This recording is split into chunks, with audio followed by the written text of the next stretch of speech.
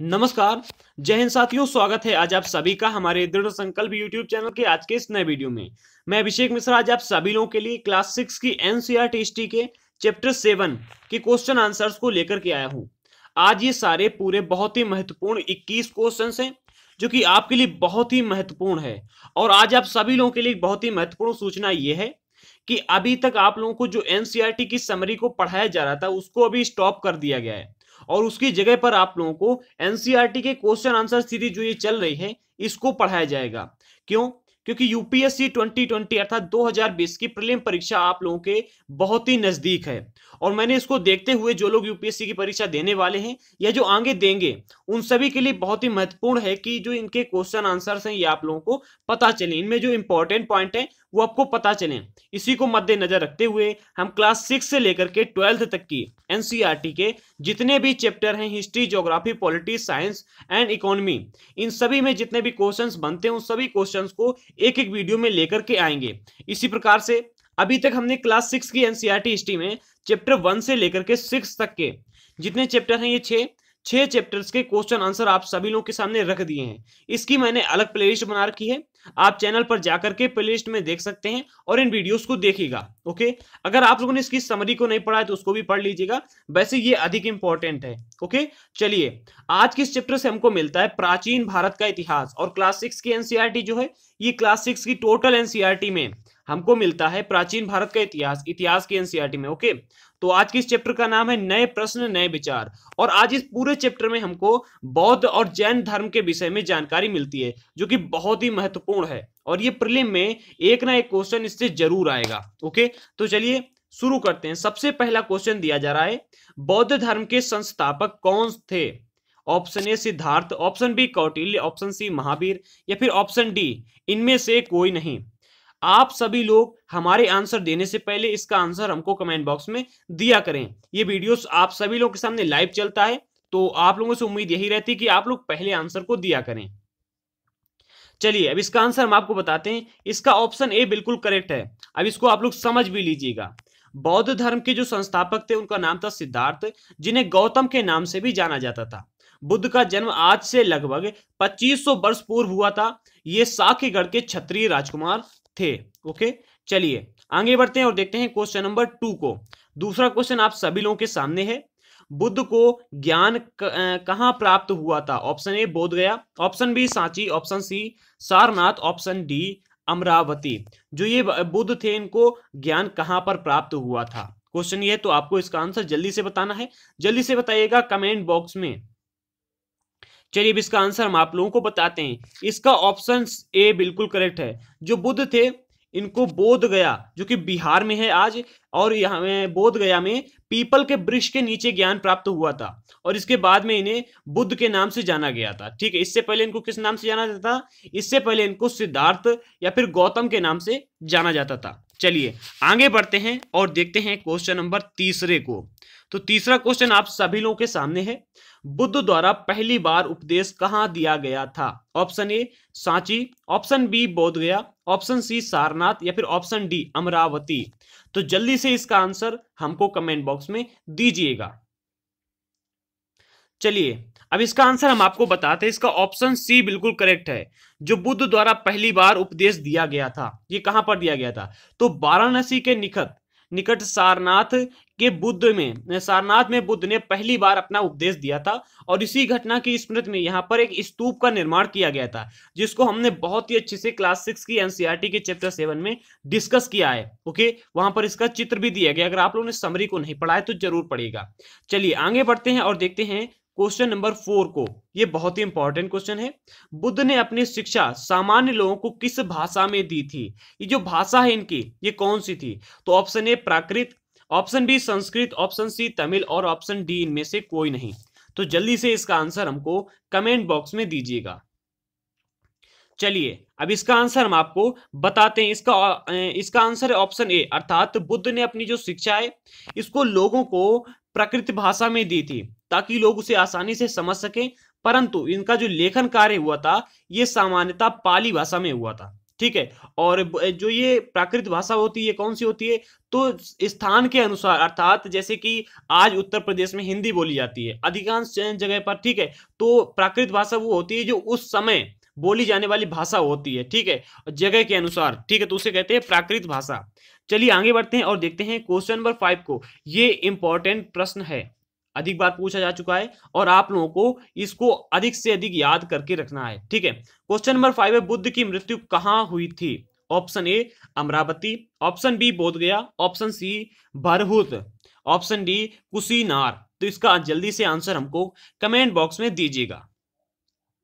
चलिए अब इसका आंसर हम आपको बताते हैं। इसका ऑप्शन डी बिल्कुल करेक्ट है अर्थात कुशीनारा में इनकी इनकी मृत्यु हुई थी। किसकी? बुद्ध की मृत्यु कहाँ पर हुई थी? तो बुद्ध बुद्ध की मृत्यु हुई थी कुशी ना, नारा नामक एक स्थान पर। चलिए इसके बाद में अब हम बुद्ध के कुछ इन्होंने जो तो इनके संदर्भ में हम कुछ जानकारी प्राप्त करते हैं बड़े पैमाने पर।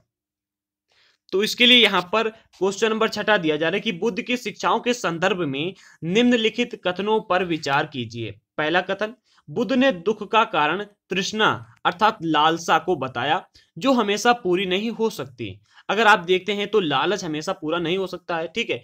दूसरा दूसरा इनका कथन था कि उन्होंने कहा था कि आत्म संयम उन्होंने कहा था कि आत्म संयम अपनाकर मनुष्य तृष्णा से मुक्ति पा सकता है अर्थात अपने आप पर संयम रख करके अपनी इंद्रियों पर बस करके ठीक है अपनी इंद्रियों को बस में करके हम अपनी तृष्णा को अर्थात लालसा को से मुक्ति हो सकते हैं ठीक है। इसके बाद में इनका तीसरा जो उपदेश था वो ये था कि उन्होंने लो, उन्होंने लोगों को दयालु होने तथा मनुष्य के साथ साथ जानवरों के जीवन का भी आदर करने की शिक्षा दी थी। ये इन्होंने तीन शिक्षा दी थी। तो इसके विषय में आपको बताना है। यहाँ पर तीन कथन दिए जा रहे हैं। ठीक, इन तीनों में से उपयुक्त कथनों में से कौन से कथन उनकी शिक्षा के संदर्भ में सत्य हैं? ठीक है? तो जल्दी से इसका आंसर हमको कमेंट बॉक्स में दीजिएगा। इसके लिए आप कुछ कूट का इस्तेमाल कर सकते हैं, अर्थात ऑप्शन ए केवल एक सही है ये वाला। ऑप्शन बी अर्थात दो और तीन सही है। ऑप्शन सी अर्थात एक, दो और तीन, ये तीनों सही है। ऑप्शन डी अर्थात इनमें से कोई भी ऑप्शन सही नहीं है। ये तीनों ही कथन गलत हैं। तो जल्दी से इसका आंसर हमको कमेंट बॉक्स में दीजिएगा कि इसका छठे का कौन सा होगा? ए बी सी या फिर डी चलिए भी इसका आंसर हम आपको देते हैं। इसका ऑप्शन नंबर सी बिल्कुल करेक्ट होगा। अर्थात ये तीनों ही ऑप्शन बिल्कुल ही करेक्ट हैं। ओके, चलिए आगे बढ़ते हैं और देखते हैं क्वेश्चन नंबर सेवन को। ये भी बहुत ही इंपॉर्टेंट क्वेश्चन है, ठीक है? अब यहाँ से हम डिस्कस करेंगे महावीर स्वामी के विषय में। तो महावीर स्वामी जो है, इनका जन्म आज से लगभग कितने वर्ष पूर्व हुआ था? सबसे पहला प्रश्न। तो इसके यहाँ पर चार ऑप्शन दिए जा रहे हैं। आज से लगभग 2000 वर्ष पूर्व। तीन हज़ार वर्ष पूर्व ऑप्शन बी में है तीन हज़ार वर्ष पूर्व ऑप्शन सी दो हज़ार छह सौ वर्ष पूर्व ऑप्शन डी पच्चीस सौ वर्ष पूर्व। तो जल्दी से इसका आंसर हमको कमेंट बॉक्स में दीजिएगा कि महावीर स्वामी का जन्म आज से लगभग कितने वर्ष पूर्व हुआ था? जल चलिए अब इसका आंसर हम आपको बताते हैं। इसका आंसर डी बिल्कुल करेक्ट है। अर्थात महावीर स्वामी का जन्म आज से लगभग 2500 वर्ष पूर्व हुआ था। और यह बज्जी संघ के लिच्छवी कुल के एक क्षत्रिय राजकुमार थे। ठीक है, चलिए आगे बढ़ते हैं और देखते हैं क्वेश्चन नंबर एट को। क्वेश्चन नंबर एट आप सभी लोगों के सामने और ये बहुत ही महत्वपूर्ण प्रश्न है। जैन धर्म के सर्वाधिक महत्वपूर्ण विचारक और विचारक वर्धमान महावीर के संदर्भ में निम्नलिखित कथनों पर विचार कीजिए। पहला कथन, तीस वर्ष की आयु में उन्होंने घर छोड़ दिया और जंगलों में रहने लगे। ऑप्शन दूसरा कथन है, बारह वर्ष तक उन्होंने कठिन कठिन व एकाकी जीवन व्यतीत किया। इसके बाद उन्हें ज्ञान प्राप्त हुआ। तो इसमें उपर्युक्त कथनों में से कौन से कथन सही है या फिर हैं?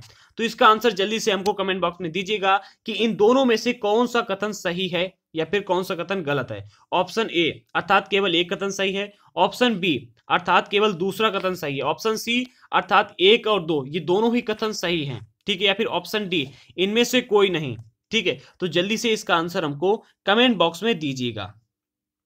चलिए अब इसका आंसर हम आपको बताते हैं। इसका ऑप्शन सी बिल्कुल करेक्ट है। जो ये वर्धमान महावीर थे, इन्होंने 30 वर्ष की आयु में अपना घर छोड़ दिया था। लेकिन काफ़ी लोगों का मानना है कि 29 वर्ष की आयु में इन्होंने अपना घर छोड़ दिया था। तो इसमें थोड़ा सा कंफ्यूजन रहता है। आप लोग समझिएगा, यहाँ पर 30 वर्ष दिया जा रहा है। एनसीआरटी कहती है कि 30 वर्ष में इन्होंने अपना जो घर है वो छोड़ दिया था। ठीक है? लेकिन एक्चुअल में बताया जाता है कि उनतीस वर्ष की आयु में इन्होंने अपना घर छोड़ दिया था। ठीक है? चलिए, अब दूसरा कथन दिया जा रहा है कि इन्होंने अपनी जो इनका जो ज्ञान प्राप्त होने की प्रक्रिया थी, इन्होंने 12 वर्ष तक एक कठिन तरह से अपना जीवन व्यतीत किया था। ठीक है? एक एकाकी जीवन व्यतीत किया था 12 वर्ष तक। उसके बाद ही इनको ज्ञान प्राप्त हुआ था। चलिए, आगे बढ़ते हैं और देखते हैं क्वेश्चन नंबर नाइन को। यह भी बहुत ही महत्वपूर्ण प्रश्न है। महावीर और उनके अनुयायियों ने अपनी शिक्षा किस भाषा में दी? Option A, Sanskrit, option B, Hindi, option C, Tamil, option D, Prakrit. तो जल्दी से इसका आंसर भी हमको कमेंट बॉक्स में दीजिएगा कि क्वेश्चन नंबर नाइन का ए सही है या बी सही है या फिर सी सही या फिर डी सही है। इसका आंसर आपको कुछ इस प्रकार से देना है। नाइन का अगर ए सही है तो ए ऐसे। ओके? ए या फिर नाइन का अगर बी सही है तो नाइन का बी ओके ब्रेकेट में, ठीक है? इस प्रकार से आपको इसका आंसर देना है। चलिए, अब इसका आंसर हम आपको बताते हैं, इसका ऑप्शन डी बिल्कुल करेक्ट है। इसकी यहाँ पर व्याख्या को भी दिया गया है। थोड़ी सी व्याख्या इंपॉर्टेंट है, इसलिए मैंने आपको यहाँ पर रख ली है। सामान्य बोलचाल की भाषा प्राकृत भाषा कहलाती है। प्रचलन क्षेत्र के आधार पर उनके उनके अलग अलग नाम थे। जैसे मगध में बोली जाने वाली भाषा बोले जाने वाली प्राकृत भाषा मगधी कहलाती थी। महावीर ने अपनी शिक्षा के लिए प्राकृत भाषा का चुनाव किया था, ताकि आम जन उन्हें समझ सकें। क्या था कि जो प्राकृत भाषा थी, ये अलग अलग जगह पर जो बोली जाने वाली भाषा थी, प्राकृत का आप समझ सकते हैं कि प्रकृति वाली भाषा। समझ गए? कि स्थान के अनुसार जहाँ पर जो भाषा बोली जाती हो, वो वो कहलाती है प्रकृति भाषा। ठीक है? जो कि यहाँ पर एक उदाहरण के तौर पर दिया जा रहा है कि मगध में उस समय बोली जाती थी, मगधी भाषा। ठीक है, चलिए, आगे बढ़ते हैं और देखते हैं क्वेश्चन नंबर टेन को। क्वेश्चन नंबर टेन बहुत ही महत्वपूर्ण है। वैसे अगर देखे जाए तो सारे ही प्रश्न, जितने प्रश्न है इस चैप्टर में, सारे के सारे बहुत ही महत्वपूर्ण प्रश्न हैं। निम्नलिखित में से कौन से कथन जैन नाम निम्नलिखित में से कौन से कथन जैन नाम से जाने गए महावीर के सिद्धांत के अनुरूप हैं? पहला कथन, अहिंसा का पालन करना चाहिए। दूसरा कथन है, किसी जीव को ना तो कष्ट देना चाहिए और ना ही उसकी हत्या करनी चाहिए। तो निम्न कूट नीचे दिए गए कूट का प्रयोग करके सही उत्तर का चयन कीजिएगा। अर्थात ऑप्शन ए केवल पहला वाला कथन सही है और दूसरा वाला गलत है। या फिर ऑप्शन बी अर्थात केवल दूसरा वाला कथन सही है और पहला वाला गलत है। ऑप्शन सी अर्थात ये दोनों ही कथन सही हैं। या फिर ऑप्शन डी इनमें से कोई नहीं, अर्थात ये दोनों ही कथन गलत हैं। तो जल्दी से इसका आंसर हमको कमेंट बॉक्स में दीजिएगा। आप लोग जब आंसर देते हैं तो आपका कॉन्फिडेंस थोड़ा सा हाई होता है। आपको ऐसा लगता है कि हाँ हमने उत्तर दिया है तो हम आगे और दे सकते हैं। इससे आपकी झिझक छुटती है। चलिए, आगे बढ़ते हैं और इसका आंसर हम आप लोगों को बताते हैं। इसका ऑप्शन सी बिल्कुल करेक्ट होगा। इसकी भी व्याख्या को रखा गया है। थोड़ी सी व्याख्या है। उपर्युक्त जो जो ये दो कथन दिए गए हैं, ये दोनों ही कथन सही हैं। जैन शब्द, जिन शब्द से निकला है, जिसका अर्थ है विजेता। महावीर ने कहा था कि सभी जीव जीना चाहते हैं और सभी के लिए जीवन प्रिय है। अब यहाँ पर आपके पास और प्रश्न उठ खड़े होते हैं। ये जो जिन शब्द है एनसीआरटी कहती है कि इसका अर्थ है विजेता। और कई सारे तथ्यों को अगर आप और मिलाते हैं तो इसके कई और अर्थ भी निकलते हैं। ठीक है? इसका वैसे अर्थ जो है, ये सामान्य तौर पर इसका विजेता ही अर्थ आप समझिएगा। लेकिन अगर आप इसमें कई तथ्य और मिलाते हैं, व्याकरण और जो कई भाषाएँ हैं, अगर आप इसको अलग अलग तरीके से देखेंगे तो इसमें और भी अर्थ निकलते हैं। ठीक है? तो इस पर आपको कंफ्यूज होने की आवश्यकता नहीं है। आप इसको विजेता ही समझिएगा, जिनका अर्थ है विजेता। ठीक है? और आगे बढ़ते हैं और देखते हैं क्वेश्चन नंबर इलेवन को। ग्यारहवा प्रश्न आप सभी लोगों के सामने है।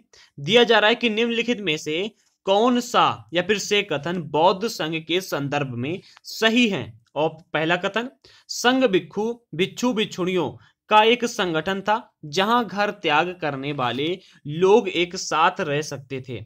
पर दूसरा कथन, संघ में रहने वाले बौद्ध भिक्षुओं के लिए बनाए गए नियम, विनय पटिका विनय पिटक, पटिका ने विनय पिटक, ठीक है? ये विनय पिटक नाम की ग्रंथ है, जिसमें मिलता है। तो इसमें से कौन सा कथन सही है? नीचे दिए गए कूट का प्रयोग करके आपको उत्तर बताना है। ऑप्शन ए, बिल, केवल एक, अर्थात केवल ये वाला कथन सही है और ये वाला कथन गलत है। ऑप्शन बी, केवल दूसरा कथन सही है और पहला वाला कथन गलत है। ऑप्शन सी, एक और दो दोनों कथन सही है और ऑप्शन डी, इनमें से कोई नहीं, अर्थात ये वाला भी गलत है और ये वाला भी गलत है। तो जल्दी से हमको बताएगा कि ग्यारहवें का ए सही है या बी सही है या सी सही है और या फिर डी सही है। चलिए, अब इसका आंसर हम आप लोगों को बताते हैं। इसका ऑप्शन सी बिल्कुल करेक्ट है, अर्थात जो संघ के बिच्छू बिछुड़िए थे, जो बिच्छू थे और जो बिछुड़ियों थे, ठीक है, इनका एक संगठन था। और जहाँ पर ये रहते थे, ये क्या करते थे, अपने घर को त्याग करके एक साथ में रहते थे। ठीक है? और इसके बाद में इसको संघ कहा जाता था, ठीक है? और जो संघ में रहने वाले बौद्ध थे, इनके वो भिक्षुओं के लिए बनाए गए कुछ नियम थे, ठीक है? बौद्ध भिक्षु जो थे, इनके लिए कुछ नियम बनाए गए थे और ये सारे नियम हमको विनय पिटक नाम के ग्रंथ में मिलते हैं और उसके अनुसार ही इनके इतिहास को जाना गया है, ठीक है? और आगे बढ़ते हैं और देखते हैं क्वेश्चन नंबर ट्वेल्व को। अब जो भी प्रश्न आप सभी लोगों के सामने आते हैं, आप लोग समझ रहे होंगे कि इसी प्रकार से पूछेंगे तो आप लोग ऐसा बिल्कुल भी समझ करके कंफ्यूज ना हो। ये प्रश्न एक ही होता है, एक प्रश्न को कई तरीके से पूछा जा सकता है। अब मान लीजिएगा कि मैंने आपको यहाँ पर इस प्रश्न में इनके कथनों को रख लिया है। अब यहाँ पर ऐसा भी प्रश्न बन सकता था कि बौद्ध संघ में रहने वाले जो बिच्छू थे और जो बिच्छुड़ी थे ठीक है, इन सभी के जो नियम थे, उसको हमें किस पुस्तक के द्वारा प्राप्त होते हैं? ठीक है, किस पुस्तक में इनके नियमों को लिखा गया है? तो ऐसे कई सारे प्रश्न बन सकते हैं। तो आप, चार ऑप्शन दे देगा आपको, उसमें आपको विनय पिटक चुनना है। तो इस प्रकार से एक प्रश्न से कई प्रश्न बन सकते हैं। तो आप लोग इसका आवश्यक ध्यान रखें। ठीक है, इसके बाद में ऑप्शन आता है क्वेश्चन नंबर ट्वेल्व। निम्नलिखित में से कौन सा कथन बौद्ध संघ के संदर्भ में सही नहीं है? पहला कथन, संघ में पुरुषों और स्त्रियों के रहने के लिए अलग व्यवस्था थी। इसके बाद में दूसरा कथन दिया जा रहा है मतलब बी तो सभी व्यक्ति संघ में प्रवेश ले सकते थे। इसके बाद में सी ऑप्शन सी संघ में प्रवेश के लिए बच्चों को उनके माता पिता की अनुमति लेनी होती थी या फिर डी विवाहित स्त्रियों को संघ में प्रवेश के लिए उनके माता पिता से अनुमति की आवश्यकता होती थी। तो इसका आंसर आप लोगों के सामने और बहुत ही सरल आंसर है इसका, ठीक है? कोई भी व्यक्ति देख करके बता देगा।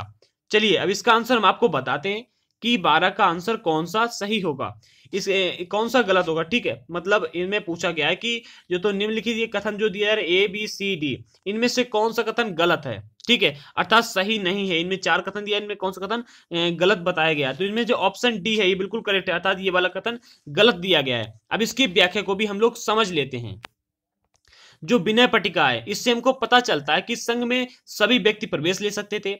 इसके बाद में जो पुरुष थे और स्त्री थे, इन सभी की रहने के लिए अलग अलग व्यवस्था थी, अर्थात पुरुष अलग रहते थे और स्त्रियाँ अलग रहती थी। और विवाहित स्त्रियाँ जो थी, इनको संघ में प्रवेश लेने के लिए उनके माता पिता की नहीं, बल्कि उनके पति की अनुमति लेने आवश्यक था। अर्थात वो अपने हस्बैंड की अनुमति लेती थी। ठीक है? चलिए आगे बढ़ते हैं और देखते हैं क्वेश्चन नंबर थर्टीन को। यह भी बहुत ही महत्वपूर्ण प्रश्न है। सारे ही प्रश्न बहुत ही महत्वपूर्ण है। प्रश्न तेरह दिया जा रहा है कि बिहार किसे कहते हैं? बिहार के संदर्भ में निम्नलिखित कथनों पर विचार कीजिए। पहला कथन, कुछ सैला कुछ शैलकृत गुफाओं को बिहार कहते हैं। इसके बाद में दूसरा कथन दिया जा रहा है कि बिहार बौद्ध बिच्छुओं और बिच्छुणियों के शरण शरण स्थली थी, जो कि बाद में निवास में बदल गया। ठीक है बाद में निवास स्थल में बदल गया। इसके बाद में तीसरा कथन दिया जा रहा है कि प्राय किसी धनी व्यापारी, राजा अथवा भूस्वामी द्वारा दान में दी गई भूमि पर बिहार का निर्माण होता था।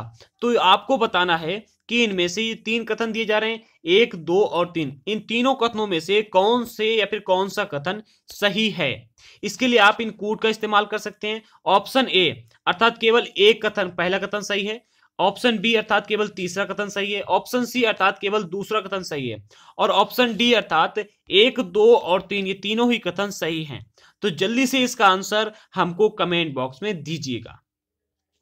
चलिए अब इसका आंसर हम आपको बताते हैं, इसका ऑप्शन डी बिल्कुल करेक्ट है, अर्थात ये तीनों ही कथन आपको सही दिए जा रहे हैं। जो तीन कथन आपको दिए गए हैं कि कुछ शैल कृतियाँ थी, जिनको कुछ शैल शैलकृत गुफाएँ थी, जिनको बिहार कहा जाता था। इसके बाद में जो ये बिहार थे, इनके निर्माण के लिए कुछ व्यापारी, जो धनी थे, इसके बाद में राजा और कुछ भूस्वामी थे, जो कि दान में दी गई भूमि पर इसका निर्माण कराया जाता था। ठीक है, और जो बौद्ध बिच्छू बिछुड़ियाँ थे, इनकी शरण स्थली को ही बिहार अर्थात निवास स्थल कहा जाता था।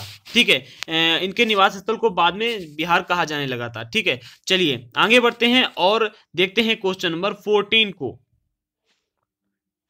क्वेश्चन नंबर फोर्टीन आप सभी लोगों के सामने काफ़ी बड़ा प्रश्न है। आश्रम व्यवस्था के अंतर्गत निम्नलिखित कथनों पर विचार कीजिए। पहला कथन, आश्रम व्यवस्था के अंतर्गत चार आश्रमों की व्यवस्था की गई थी। पहला है ब्रह्मचर्य, दूसरा है गृहस्थ, तीसरा है बानप्रस्थ और चौथा है संन्यास। ठीक है, इसके बाद में दूसरा कथन दिया जा रहा है। ब्रह्मचर्य के अंतर्गत ब्राह्मण क्षत्रिय और वैश्य सादा जीवन बिता करके वेदों का अध्ययन करें। इसके बाद में तीसरा कथन है, गृहस्थ आश्रम के अंतर्गत उन्हें विवाह कर एक गृहस्थ के रूप में रहना होता था। ऑप्शन चौथा दिया जा रहा है अर्थात कथन चौथा है बानप्रस्थ के अंतर्गत उन्हें जंगल में रहकर साधन साधना करनी होती थी। अंततः उन्हें सब कुछ त्याग करके सन्यासी बन जाना था। ठीक है तो इसका आंसर हमको जल्दी से कमेंट बॉक्स में दीजिएगा कि इन चारों कथनों में से कौन से कथन सही हैं? ठीक है, इसके लिए आप कुछ कूट का इस्तेमाल कर सकते हैं।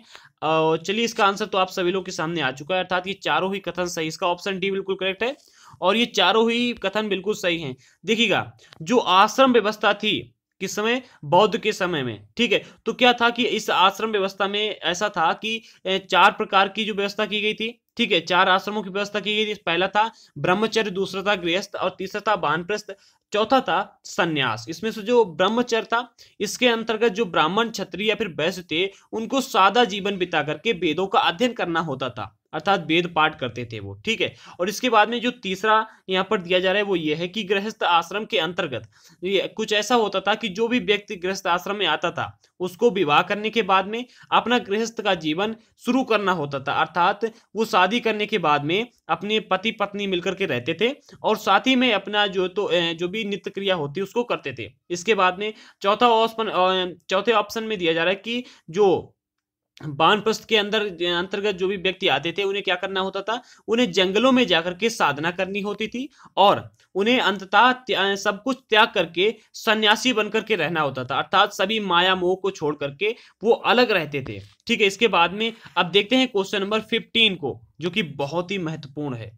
जिस समय बुद्ध उपदेश दे रहे थे उसी समय या उससे भी थोड़े पहले कुछ अन्य चिंतक भी कठिन प्रश्नों का उत्तर ढूँढने का प्रयास कर रहे थे। ये जो प्रश्न थे, ये बहुत ही महत्वपूर्ण थे। ये चिंतक उपनिषदों से संबंधित थे। इन उपनिषदों के संदर्भ में निम्नलिखित कथनों पर विचार कीजिए। पहला कथन दिया जा रहा है, उपनिषद उत्तर वैदिक ग्रंथ का हिस्सा थे। ठीक है? इसके बाद में दूसरा कथन और तीसरा कथन आपके सामने है।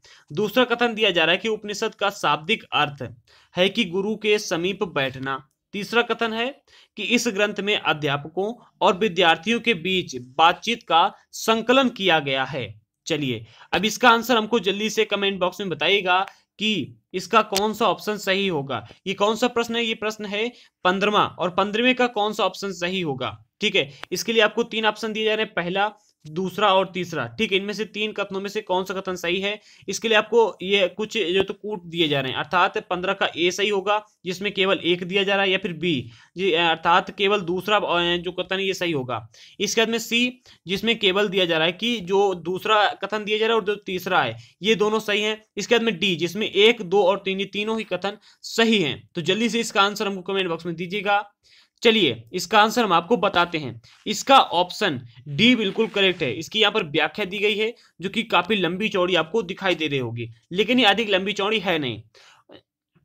दिया जा रहा है कि जो उपनिषद थे, ये एक उत्तर वैदिक ग्रंथ का हिस्सा है, ठीक है? अब जो ये ग्रंथ है, इनमें अध्यापक जो थे और जो विद्यार्थी थे, इन दोनों लोगों के बीच में जो बातचीत हुआ करती थी, इसका संकलन दिया गया है, ठीक है? और इसके बाद में ये प्राय विचार सामान्य वार्तालाप के रूप में प्रस्तुत किए गए अर्थात जो अध्यापक और विद्यार्थियों के बीच में बातचीत हुआ करती थी, उनके विचार दिए गए जो कि सामान्य वार्तालाप के रूप में प्रस्तुत किए गए अर्थात कहानी के रूप में ठीक है? अब इन चिंतकों के अधिकांश का, ठीक है, इन चिंतकों में अधिकांश का यह मानना था कि इस विश्व में कुछ तो ऐसा है जो कि स्थायी है, अर्थात पूरे विश्व में मनुष्य तो मर के चला जाता है लेकिन कुछ तो ऐसा होगा जो कि स्थायी है और मृत्यु के बाद में भी रहता है, ठीक है? उन्होंने इसका वर्णन आत्मा से किया था, आत्मा तथा ब्रह्म से किया था, या फिर आप इसको सर्वभौम भी कह सकते हैं, सर्वभौम आत्मा के रूप में किया, ठीक है? वे मानते थे कि अंत आत्मा तथा ब्रह्म एक ही है ठीक है, आत्मा और परमात्मा एक ही है। चलिए तो आगे बढ़ते हैं और देखते हैं क्वेश्चन नंबर 16 को। ये भी बहुत ही महत्वपूर्ण प्रश्न है। इसका उत्तर भी आप सभी लोगों के सामने आ ही चुका है।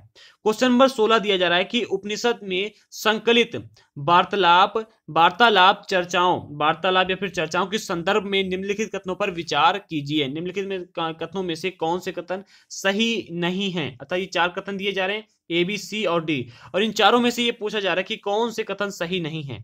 पहला कथन है, इन चर्चाओं में भाग लेने वाले अधिकांश पुरुष ब्राह्मण तथा राजा होते थे।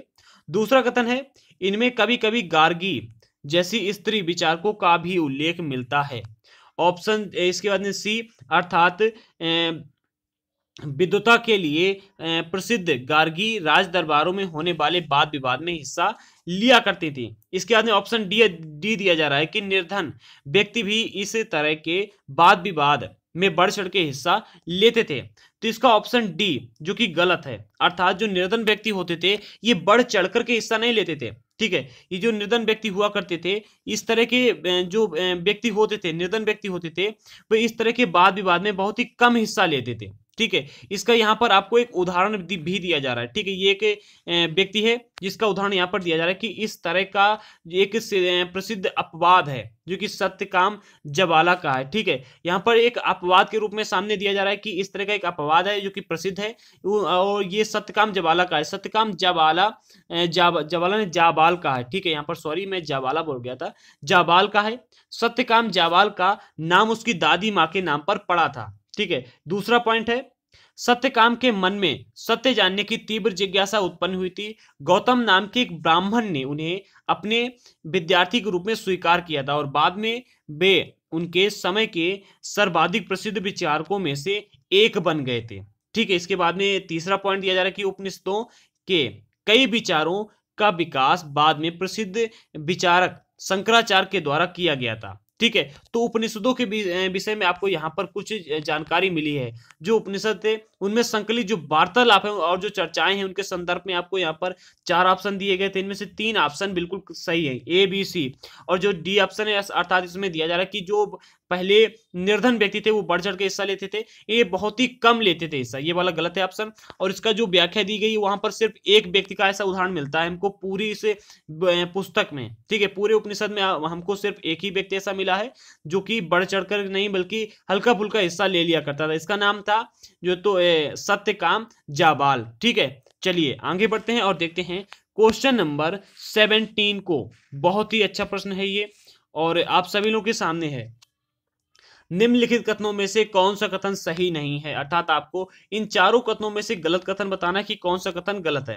पहला कथन दिया जा रहा है कि जैन धर्म का समर्थन मुख्यतः व्यापारियों द्वारा किया गया। दूसरा है कथन, किसानों के लिए जैन धर्म के नियम का पालन अत्यंत कठिन था, क्योंकि फ़सल की रक्षा के लिए उन्हें कीड़े मकोड़ों को मारना पड़ता था। इसके बाद में तीसरा कथन दिया जा रहा है कि बाद की सदियों में उत्तर भारत के साथ साथ जैन धर्म का विस्तार गुजरात, तमिलनाडु और कर्नाटक में भी हुआ।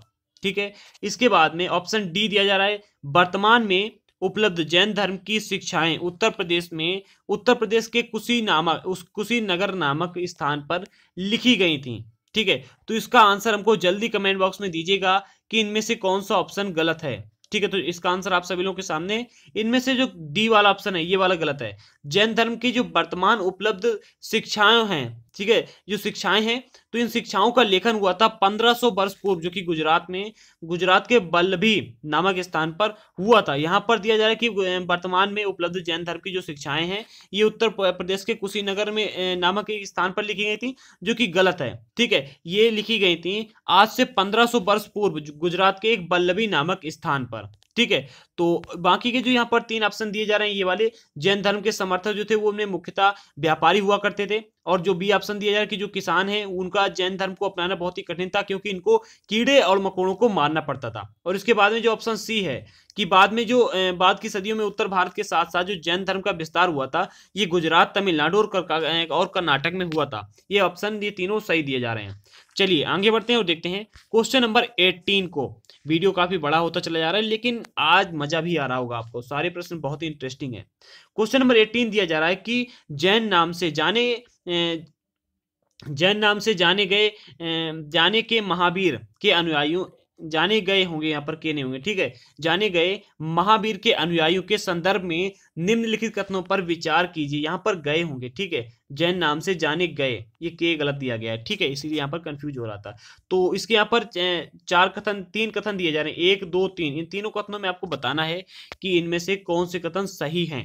पहला कथन है उन्हें भोजन के लिए भिक्षा मांग करके सादा जीवन बिताना होता था। अर्थात एक जो तो ए, सादा जीवन बिताना इनको भोजन के लिए कहीं पर खेती जाकर नहीं कर सकते हैं कुछ धंधा नहीं कर सकते हैं कहीं पर नौकरी नहीं कर सकते। इनको भिक्षा मांग करके अपना जीवन बिताना होगा। दूसरा ऑप्शन उन्हें पूरी तरह से ईमानदारी के साथ, ठीक है, ईमानदारी से रहना और चोरी ना करने की सख्त हिदायत दी गई थी। अर्थात आप एक ब्रह्मचर्य का जीवन ही जिएँगे।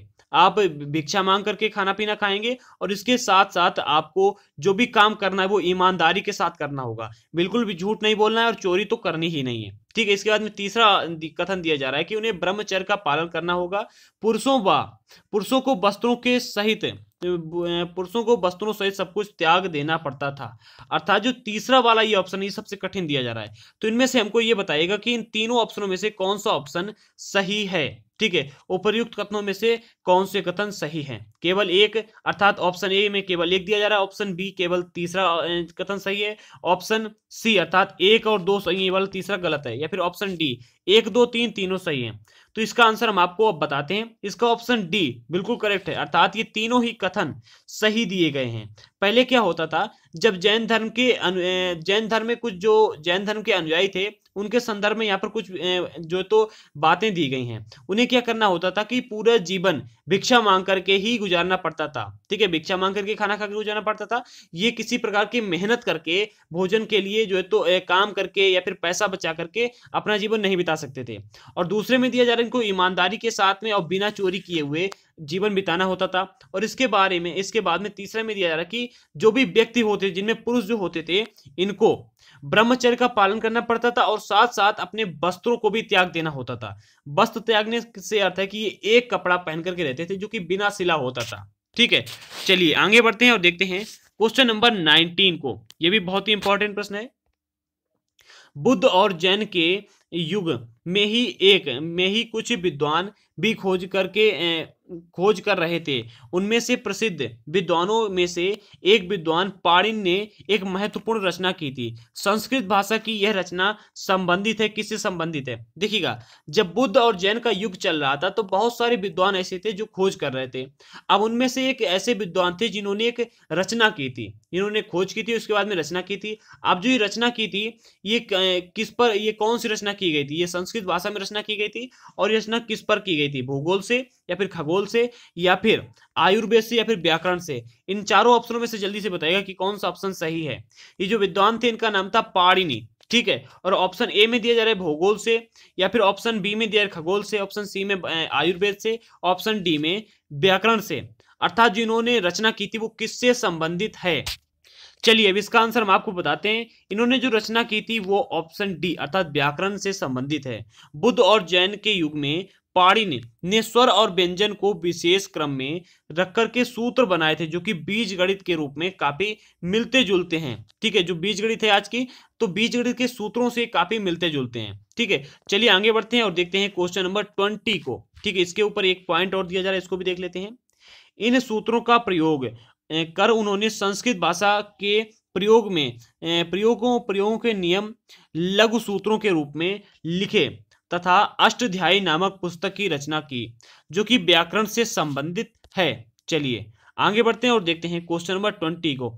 ये थोड़ा सा बड़ा प्रश्न है और इंपॉर्टेंट प्रश्न है, ठीक है? एक जरथुस्त्र नाम का एक ईरानी पैगंबर थे, ठीक है? जिनका नाम था जरथुस्त ठीक है? उनकी शिक्षाओं के संदर्भ में निम्नलिखित कथनों में से कौन से कथन सही हैं? दो कथन दिए जा रहे हैं। जरथुस्त की शिक्षाओं के, का संकलन, जेंद्र अवस्था ठीक है, जेंद अवस्था नामक ग्रंथ में मिलता है। इसके अंदर दूसरा कथन दिया जा रहा है कि जरथुस्त्र की मूल शिक्षा का सूत्र था सदविचार, सदवचन और सदकार्य। ठीक है तो इनमें से कौन सा कथन सही है? ए पहला कथन सही है, फिर दूसरा कथन सही है। इन के माध्यम से आप इसका आंसर दीजिएगा। ऑप्शन ए, केवल एक सही है। ऑप्शन बी, केवल दूसरा कथन सही है। ऑप्शन सी, एक और दो दोनों कथन सही है। या फिर ऑप्शन डी, इनमें से एक भी कथन सही नहीं है, अर्थात ये दोनों ही कथन गलत हैं। तो जल्दी से इसका आंसर हमको कमेंट बॉक्स में दीजिएगा। चलिए, अब इसका आंसर हम आपको बताते हैं। इसका ऑप्शन सी बिल्कुल करेक्ट है। और आप सभी लोगों के सामने इसकी व्याख्या भी प्रस्तुत हो चुकी है। ठीक है तो दिया जा रहा कि जो ये जरथुस्त थे, ठीक है जरथुस्त ये थे एक ईरानी पैगंबर और उनकी शिक्षाओं का संकलन हमको जेंद अबेंता, अबेस्ता नामक की एक पुस्तक है, ठीक है, एक ग्रंथ है, जिसमें हमको इसका जो तो मिलता है, संकलन मिलता है, ठीक है। और जेंद अबेस्ता की भाषा तथा इसमें वर्णित रीति रिवाज वेदों की भाषा और रीति रिवाजों से काफ़ी मिलते जुलते हैं। इसके विषय में दो पॉइंट दिए जा रहे हैं, जो ये जरथुस्त थे, इनकी मूल शिक्षा का सूत्र था सद विचार सद वचन तथा सदकार्य। ठीक अर्थात हे ईश्वर, बल, सत्य प्रधानता एवं सत्य विचार सद विचार प्रदान कीजिएगा। ठीक है, जिसके ज़रिए हम शांति बना सकें। दूसरा पॉइंट दिया जा रहा है कि एक हज़ार से अधिक वर्ष तक जरथुस्त्रवाद, ईरान का एक एक प्रमुख धर्म रहा था। बाद में कुछ जरथुस्त्रवादी ईरान से आकर के गुजरात और महाराष्ट्र के तटीय नगरों में बस गए। वे लोग ही आज के पारसियों के पूर्वज हैं, ठीक है? चलिए आगे बढ़ते हैं और देखते हैं क्वेश्चन नंबर ट्वेंटी वन को। यह भी बहुत ही महत्वपूर्ण प्रश्न है। जातक कथाओं का संकलन निम्नलिखित में से किसके द्वारा किया गया था? ठीक है, जो जातक कथाएँ हैं, इनका संकलन किसके द्वारा किया गया था? ऑप्शन ए जैन अनुयायियों के द्वारा। ऑप्शन बी बौद्ध अनुयायियों के द्वारा। ऑप्शन सी विदेशी यात्रियों के द्वारा या फिर ऑप्शन डी अर्थात दरबारियों, दरबारी कवियों के द्वारा। तो जल्दी से इसका आंसर हमको कमेंट बॉक्स में दीजिएगा। आप लोगों से एक उम्मीद रहती है कि हमारे आंसर देने से पहले आप लोग कमेंट बॉक्स में आंसर दिया करें। चलिए, आगे बढ़ते हैं और देखते हैं इसके आंसर क्या हो सकता है। इसका ऑप्शन बी बिल्कुल करेक्ट है। अर्थात इसका ऑप्शन भी बिल्कुल करेक्ट है, अर्थात जातक जो कथाएँ थी, इनकी जो कहानियाँ हैं, जो जातक कथाएँ हैं, इनकी कहानियाँ, जो कि आम लोगों में प्रचलित थी, इसका संकलन हमको बौद्ध भिक्षुओं और इनके जो अनुयायी थे, इनके द्वारा किया गया था। ठीक है, चलिए आगे बढ़ते हैं और आज के इस चैप्टर में इतने ही क्वेश्चन थे। ठीक है, और आप लोगों से एक रिक्वेस्ट है कि हमारे इन वीडियोस को शेयर ज़रूर कर दें, जिससे कि जो लोग यूपीएससी की तैयारी कर रहे हैं और 2020 में अर्थात इसी वर्ष में यूपीएससी प्रीलिम की परीक्षा देने वाले हैं। उन तक ये वीडियो पहुँच सके और आप उन तक ये खबर पहुंचाइएगा कि हमने अभी तक जो पढ़ा चुका है पढ़ाया जा चुका है, उसको पढ़ें और साथ साथ हमारे इस दृढ़ संकल्प यूट्यूब चैनल पर यूपीएससी की तैयारी स्टार्टिंग से एक प्रॉपर वे में कराई जा रही है नोट्स भी दिए जा रहे हैं। अगर आप लोगों ने अभी तक हमारे टेलीग्राम चैनल को सब्सक्राइब नहीं किया टेलीग्राम पर आपने अगर हमको ज्वाइन नहीं किया है तो वहाँ पर ज्वाइन कर लीजिएगा। वहाँ पर अभी तक के सारे पीडीएफ आपको मिल जाएँगे और साथ ही साथ पर डे आपको वहाँ पर स्टडी मटेरियल भी दिया जाता है। ओके तो आप आप लोगों को एक काम कीजिएगा कि जो लोग यूपीएससी की तैयारी कर रहे हैं, उन तक हमारे वीडियोस को शेयर कर दीजिएगा। मिलते हैं अगले वीडियो के साथ, तब तक के लिए जय हिंद दोस्तों।